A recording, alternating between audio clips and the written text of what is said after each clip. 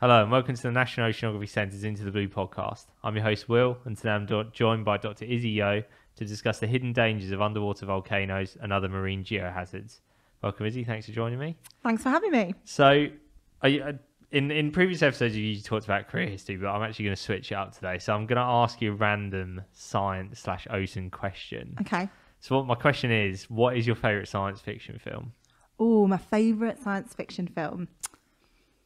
I think I would go for Alien, probably, or Aliens, maybe the second Yeah. one. The second one's the Okay. better one, isn't it? Yeah, second one. Um, yeah. but I like the like the unseen danger and the space stuff. I always think movies which have a vision of the future in are quite Yeah. interesting. The Like claustrophobia. yeah, like I, yeah. I really like movies that are set sort of now from the past when Right. when there's like a vision of what, what the future will Yeah. look like and it's like complete nonsense. it is to now. yeah. yeah, but I, I like that and I, I like just the like subtle threat the whole way through as Yeah. well. So Yeah, no, that's a great, Yeah. great franchise as well. it's solid Yeah. franchise, although the recent So- ones less so.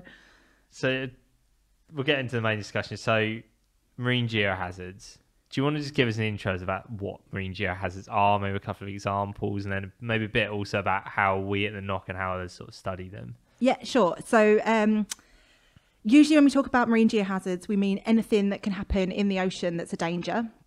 Um, so that could be um, a natural event or something uh, triggered by humans.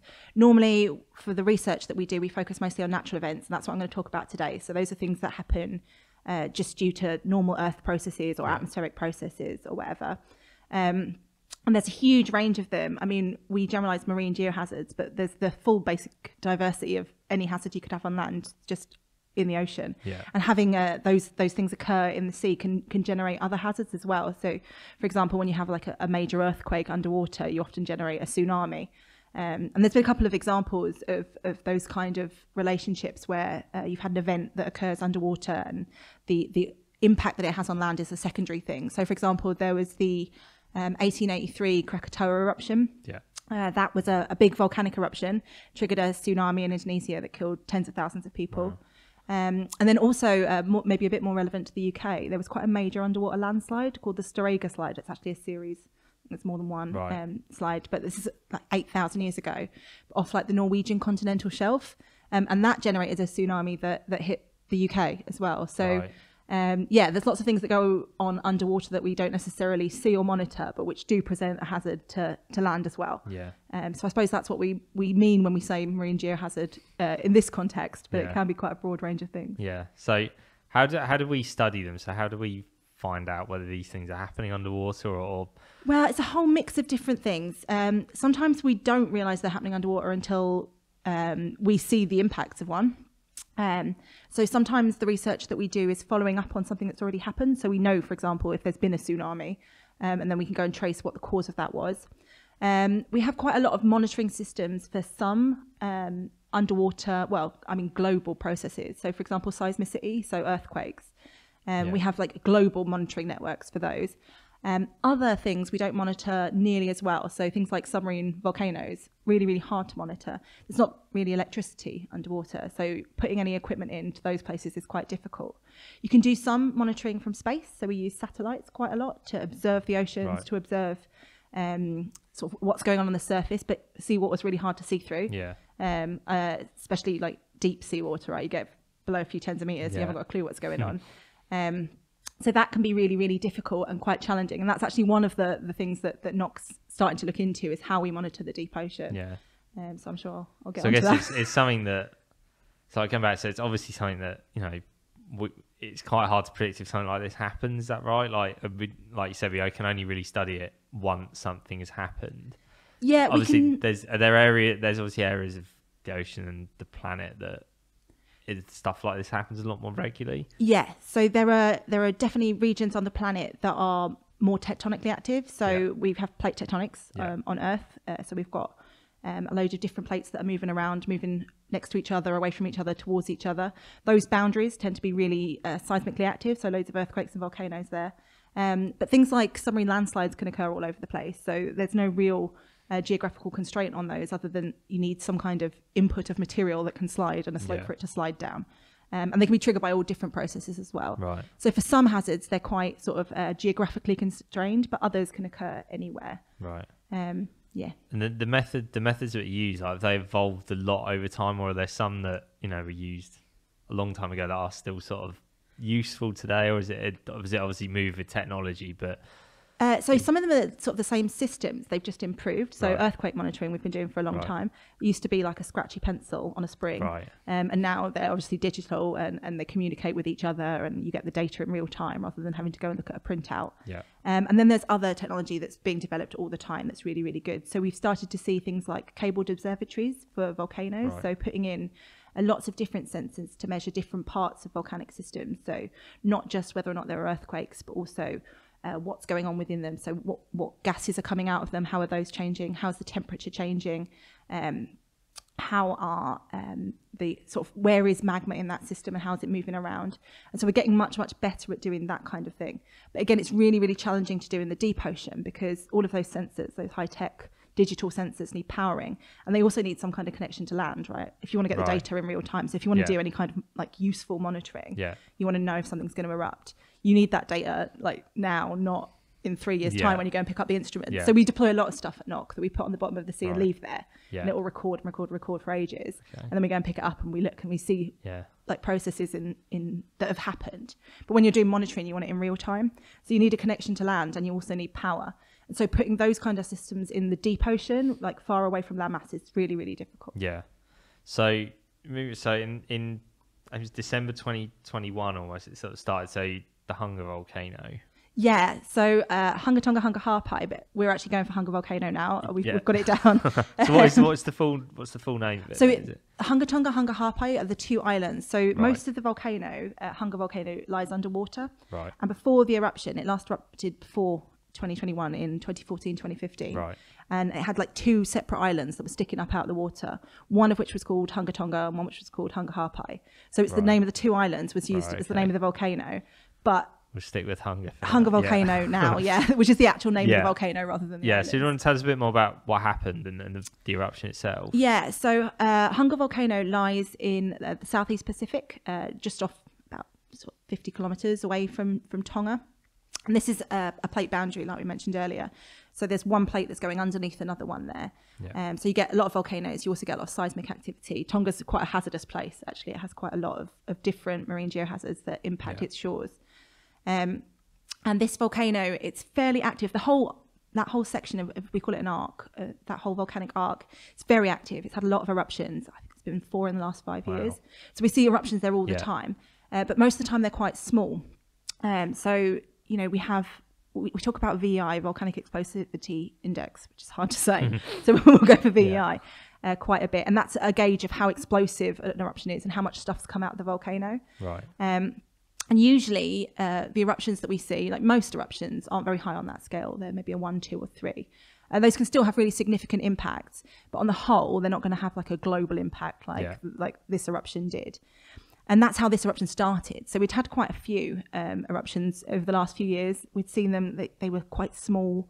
Um, some like little bits of ash, small explosions. You get explosions when you mix um, hot rocks and water. Obviously, Right. like if you imagine like dropping something really really hot into some cold water, you're going to get like a sort Yeah, of flash to steam and- steam. yeah, Yeah, yeah. exactly. So interaction with water can make those eruptions more explosive. Right. But even in those scenarios, like you weren't generating big waves, you were you were making like smallish explosions, relatively small ash columns.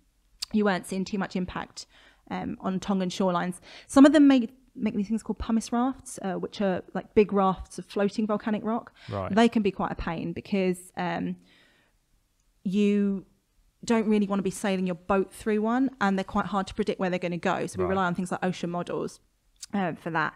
And if you don't have a, a good ocean model for that area, or actually even if you do, it's still hard to predict where they're going. So that can be a hazard associated Yeah. with those. But it's not, you know, it's not too, it's nothing compared to the the Hunga volcanic Yeah. eruption. So that that eruption started small.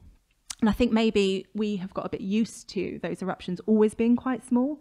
So in December, it was doing pretty classic volcanic erupting for that that area. So Like, pretty pretty normal. yeah, like- like you know, people were going out on boats to go and look at it. yeah. Uh, so uh, you know, and it's a, it's a spectacle. Like I don't I don't blame them, although not putting in a recommendation for, Not the best idea. sailing yeah. near to volcan like volcanoes that are erupting. Yeah. Don't do that. Yeah. Um, but um, yeah, it was it was relatively small um, eruptions, a bit of water interaction, some explosions, very very small, like a few centimeter waves were being created. uh, by that phase of the eruption. And that went on for like a couple of weeks. Um, and then it sort of stopped for a little bit. We had like a little hiatus. And then uh, I think it was January the 15th, it was evening time um, in Tonga when it happened, about five o'clock. Right. There was a really big, huge explosion. Um, now, the day before, activity had ramped up a little bit, but it'd still been, I mean, it was it was the most activity we'd seen. So it was more explosive than it had been. But not anything to suggest. Yeah, but that- there was like really no clue that, Yeah. that this huge explosion was coming. Um, and yeah, it, it really, really blew up. There was at least two major explosions. Wow. It ejected, well, the estimates are still in the air a little bit, Yeah. but somewhere between five and seven kilometers, probably cubed of material. Wow. It's a lot of rock. Um, it threw up into the air. The eruption column went up into, I think it was 58 kilometers was the top of it, which is like one of the biggest Right. uh, eruption columns we've ever seen. Uh, you can see it obviously from space and from satellites. You can monitor Yeah. that. We emitted loads of gas. Um, we threw ash really, really high up, and that rained down on some of the islands in Tonga. And the thing that ended up being most devastating about this eruption uh, was that, it, that that explosive phase and some of the processes associated with that afterwards generated tsunamis. Um, and not just in Tonga. So the worst tsunamis, the biggest ones, uh, we call it run up. So how big the waves were. Right. They were largest in the Tongan Islands. Some of those exceeded 10 meters. I think some of the Wow. really biggest ones were maybe nearly 20 meters, Yeah. which is big wave. But also the pressure wave from the eruption, so the actual explosion itself, created this pressure wave that went around the, the, the Earth, like I think four times they measured it, and it created waves in other oceans as well. So there were tsunamis in oceans that weren't the Pacific, but related to that volcanic eruption. I actually think NOC has a tidal gauge somewhere in Scotland that detected it. Uh, Really? not not big, like a, Right. just, just like a very very So small this wave. this but- is not just Tonga then. This is across the whole world. no, yes, yeah, it seen. really was a, a real global event, and it's it's the biggest eruption we've seen in the 21st century. I mean, biggest is a bit of a, a vague word. Certainly Yeah. the most explosive we've seen for a long time. So it's pretty major then in terms of when you compare it to some of the more sort of well-known volca- volcanic eruptions like Yeah, it was it was a huge event. Yeah. Um, you know, uh, it's been compared to Pinatubo in 1991. Right. That's probably the most famous one Right. that, that it's been compared to. It's Yeah. a similar sort of size to that. Yeah. Maybe a bit more explosive, similar volume of material. right. Uh, so yeah, it was really, really big. Um, and you know, in in many ways, it could have been worse than it was. People did lose their lives uh, because of the waves, but Tonga had had quite a successful education program Hmm. um, around uh, tsunamigenic risk because they're also at risk of earthquakes and other things. Um, Yeah. and it happened in the evening, and the people were aware of the eruption as well. So there was an initial smaller wave. Most people evacuated. So most regions had managed to evacuate before the largest waves hit the islands. Um, so there wasn't a huge loss of life, which was, you know, good. Like yeah. obviously, any deaths are always a tragedy, but it could have been much much worse than it was.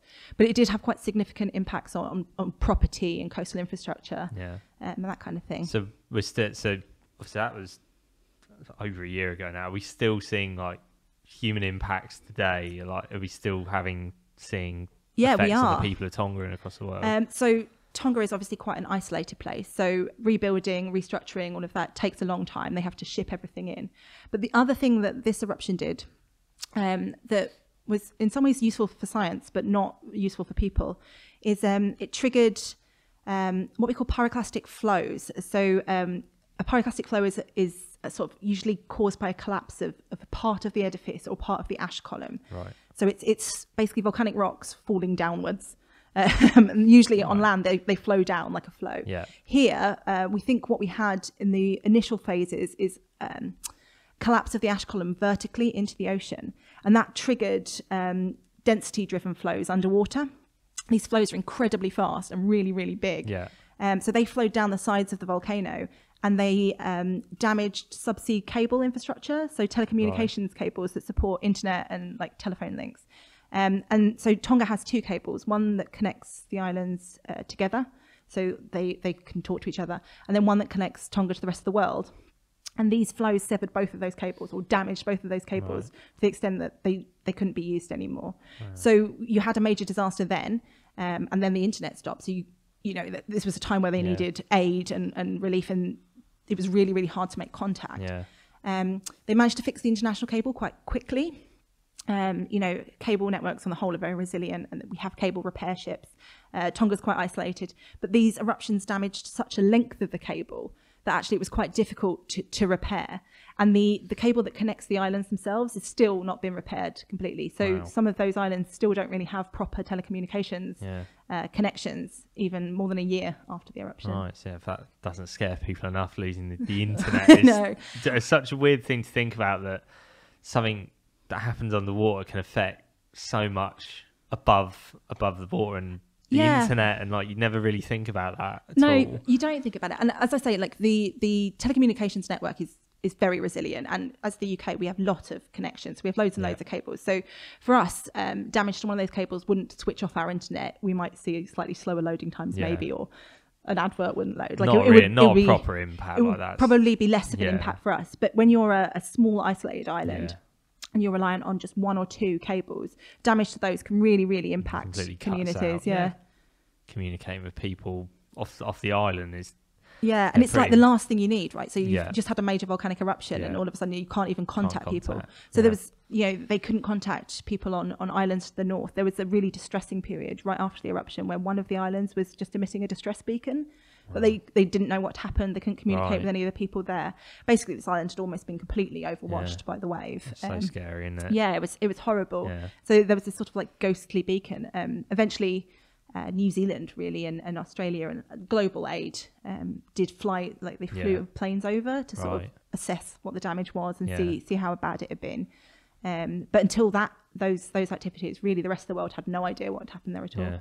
Wow. It's so weird to think about, isn't it? That that can completely cut off a whole island from communicating. It's yeah, it's terrible, really, isn't it? It is, yeah, it's really terrible, and it's it's always surprising because I think um, we always think that you're like we, we know everything that's going on, that you can you know you can go into Google Earth or whatever and, and look at something, Yeah. and like we we can track each other on our mobile phones. Yeah. But once you get somewhere remote, and particularly within the oceans, like that just doesn't happen. So Yeah. there's so much stuff going on in the oceans Yeah. that we actually don't know about. Yeah. Um, they're, yeah, they're a real frontier. So, in terms of the ocean, then, did have we seen any knock-on effects of this volcano on the ocean itself, on the surrounding areas, and is there anything that's occurred as a result of this volcano, and anything eh, in terms of climate change as well? Like, does that have any effect on these these events at all? So big volcanic eruptions can have impacts on the climate. Um, Right. Definitely, this one emitted quite a lot of of um, gas into the atmosphere,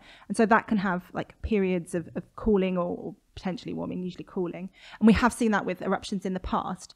Um, those changes tend to be relatively small for really, really major volcanic eruptions. And I'm talking like huge VEIs here, things like Yellowstone or whatever. Uh, those can have really, really major climatic impacts.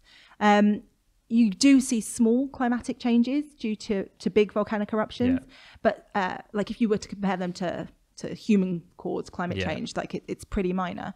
One of the interesting interactions between climate and, and marine geohazards, though, is um, because we're getting sea level rise.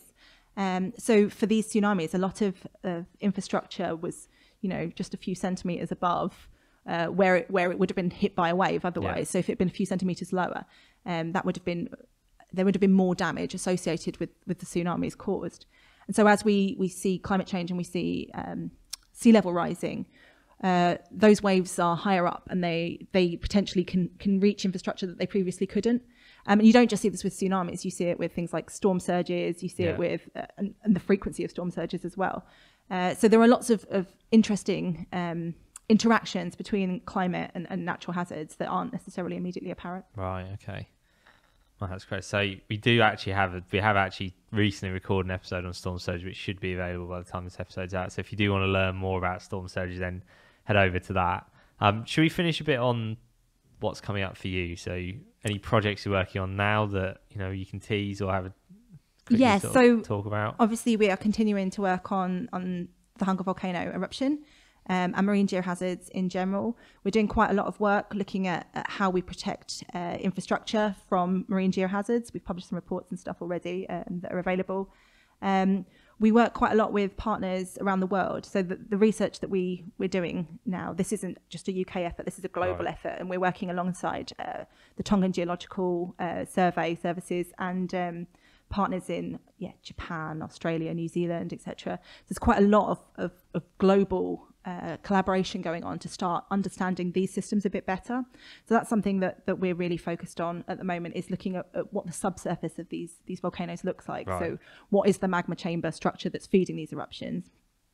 Um, and then the other thing that, that's a real focus for us at the moment um, within, I'd say, the whole of my group, which is the, the Marine Geosystems group, um, is is monitoring the seafloor. So how do we start to overcome some of this stuff where it's so difficult to understand what's going on? It's so difficult to monitor. Like what kind of sensors can can we use? What already exists that we can use? There's some really interesting uh, work currently going on looking at whether or not you can use seafloor cables um, to to measure things like like earthquakes. Uh, So whether they can actually be used to detect seismicity rather than just being damaged by it. Yeah. Um, so that's really, really useful because they obviously go right across the oceans. So if you can start using that network to monitor the seafloor, you get a lot of information, Right. um, which is really, really exciting. And we do a lot of sensor development and stuff here as well. So Yeah. that's all happening I'm looking forward to seeing how that develops. Yeah. But yeah, thank you for joining me today, Z. Uh, if you'd like to learn more about the Hunga volcano eruption or the NOC's work with mar- marine geohazards in general, head over to our website noc.ac.uk or follow any of the links in the description. To make sure you don't miss out on future podcast episodes, make sure to subscribe on your favourite podcast app so make sure you don't miss out. We'll see you on the next episode.